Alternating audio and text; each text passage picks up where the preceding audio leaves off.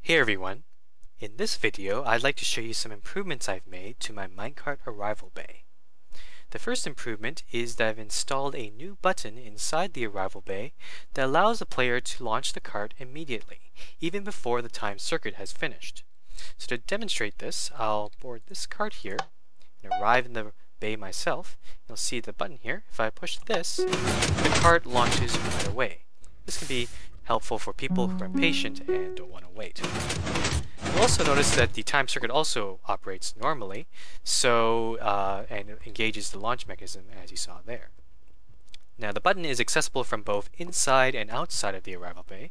So from outside here, I can push it and it just operates just the same. So this can be useful for clearing out any uh, carts or players that seem inside the bay.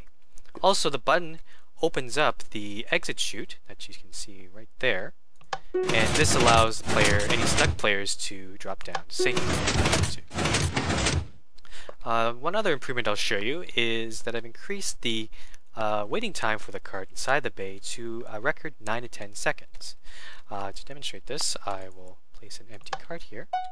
You'll see that the timing circuit is now much longer. It sort of wraps around itself here, goes around the outside, plays a chime, and ultimately uh, engages the launch mechanism. Alright, so for people who haven't seen the last, uh, the original uh, arrival bay, I'll demonstrate what happens if I... Uh, so in this case, I've arrived in the bay, but I'm going to step outside, step out of the cart. And I'll wait for the timing circuit to finish. There goes the chime.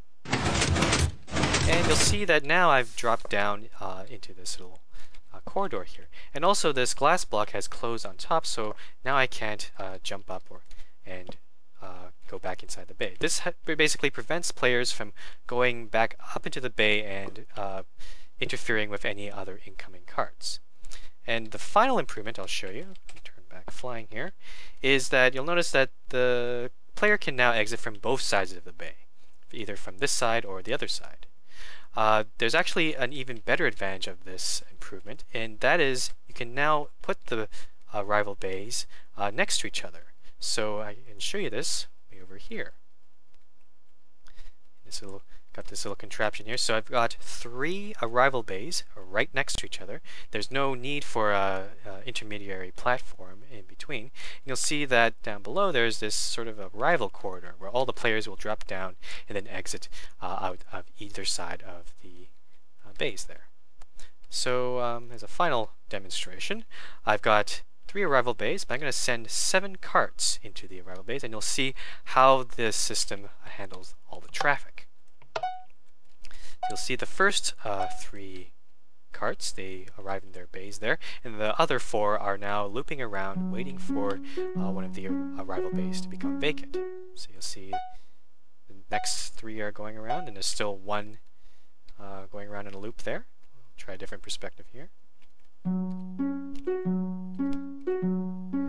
see the next three are falling to lava there, and you'll see the last card is now inside that bay. So, um, yep, that's pretty much all I wanted to show you there. Uh, the this this these new arrival bays will be in the next uh, version of my minecart rapid translation. That'll be version 4.1. So, um, yep, uh, thank you for watching and have a nice day.